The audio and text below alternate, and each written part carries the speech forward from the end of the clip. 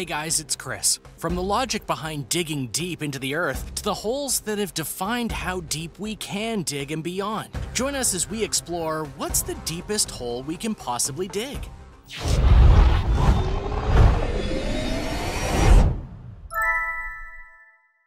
Number 9. The desire to dig. Since the earliest days of humanity, we've learned simply and very easily that within the earth, under our feet, are things that we can use to survive. From animals we can eat to water we can drink, to materials that we can refine into tools and items that can make our lives easier. We've gone to great lengths to go and make things under the surface of the earth known. Since those early days, we've created all sorts of underground entities, from basements and houses to deep underground garages to mines, wells, and more. But with each advance in technology comes the question of how far can we truly go? How deep can we really dig? What's the deepest hole that humanity could ever make? The answer isn't as simple as you might think, and the holes we have made are numerous and terrifying in their scope, scale, and craft. Number 8. Mirny Mine Mirny Mine is a diamond mine and one of the largest excavations in history. In regards to the width of the mine, it's about 3,900 feet wide, and for its depth, it's 1,700 feet deep. That's huge for a diamond mine.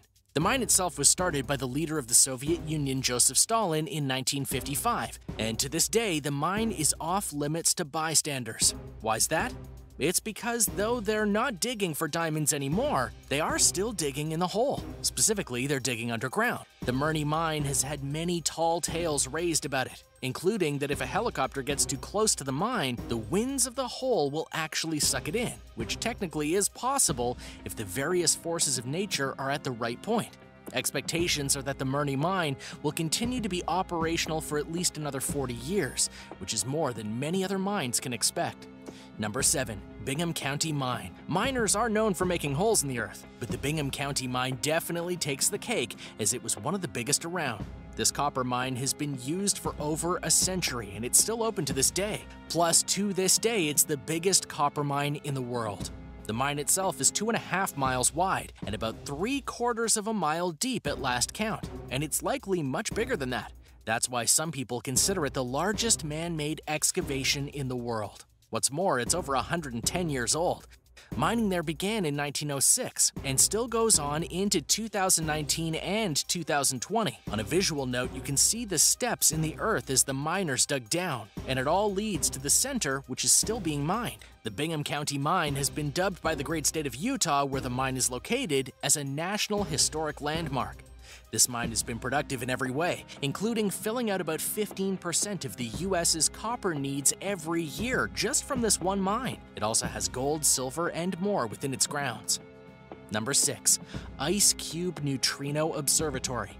There are many different ways to make holes into the Earth, but for the University of Wisconsin, they wanted to do a study of the Earth from a different perspective. They decided to go to Antarctica and drill a massive hole into the very ice caps of the Earth to see what's down there. Thus, the IceCube Neutrino Observatory was made. This may sound weird, but it's actually a viable practice. After all, the ice of the world's polar caps hides secrets and mysteries of the world that we can barely fathom.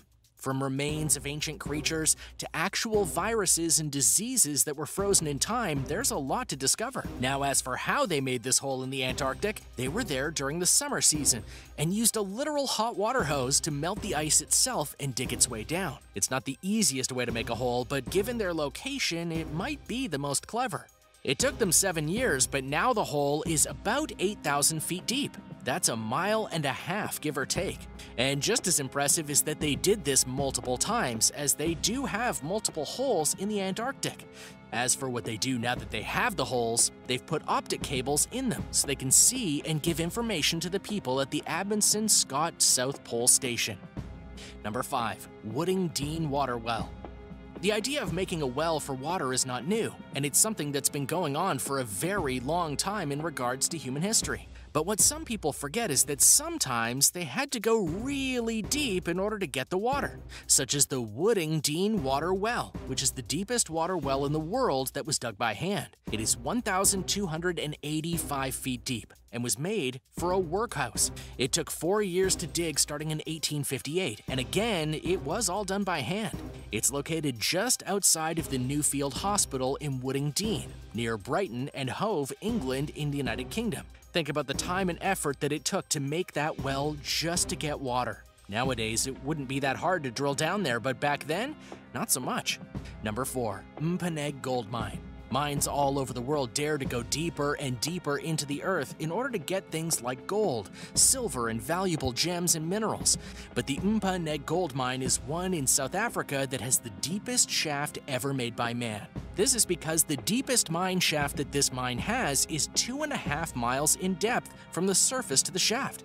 To try and get from the top to the bottom takes over an hour via the carts they've made to ferry the miners. What's more, the temperatures down there can be scorching, including the rocks being 151 degrees Fahrenheit. The mine has been insulated to keep the miners safe, but being that deep in the earth can cause many problems that won't be easy to solve, including if a cave-in traps them. It would be incredibly difficult to save them given the distance rescuers would need to travel. Yet despite the dangers, they do continue to mine down there.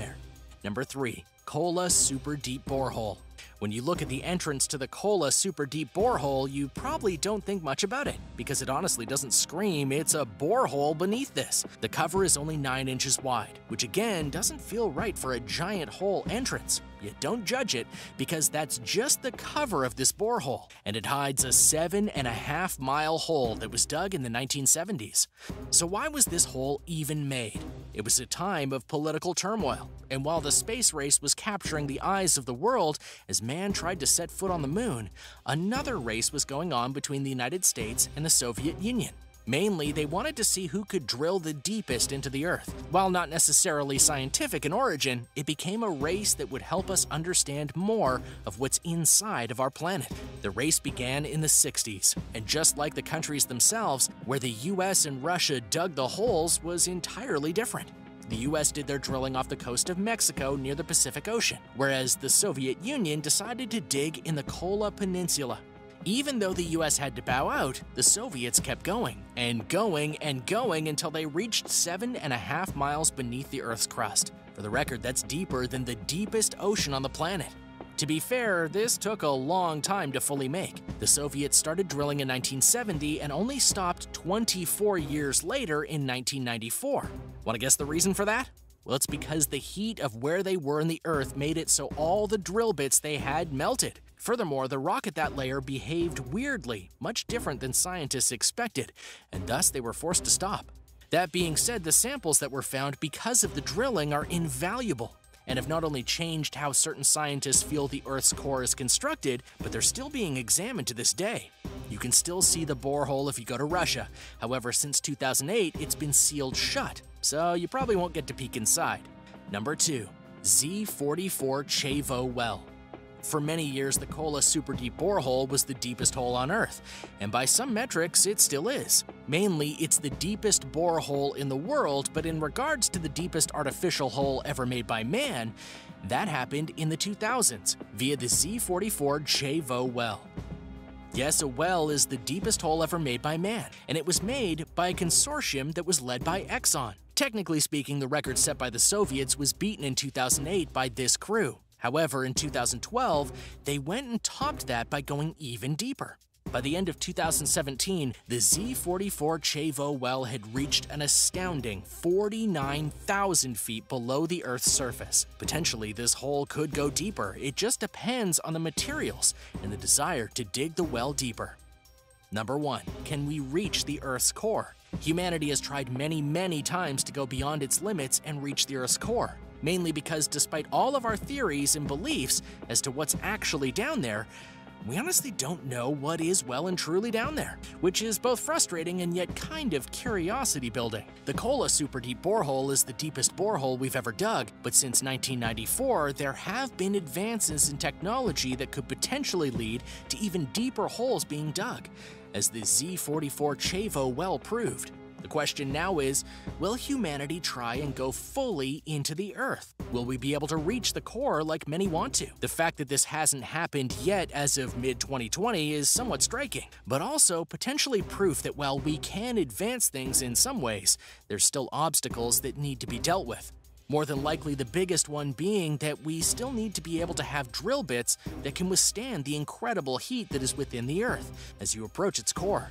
The Soviets were stopped because of temperatures not even reaching 400 degrees Fahrenheit, so imagine getting to thousands of degrees that is expected to be down there. There have been plans to go beyond what these holes have done and even reach the mantle of our planet, but nothing came of it. As many have proved, just because you start an expedition to drill a deep hole doesn't mean it'll happen quickly. So, what's the deepest hole we can possibly dig? The answer is a stat, but not exactly a definitive answer. Because even though we've gone deep into the Earth, we have many, many miles to go before we can say that we've dug to the center of the Earth.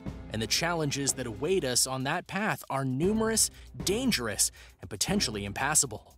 Thanks for watching. Do you think that we'll be able to go beyond the deepest holes we've made one day? If so, when? Let me know in the comments below. Be sure to subscribe to World List, and I'll see you next time on the channel.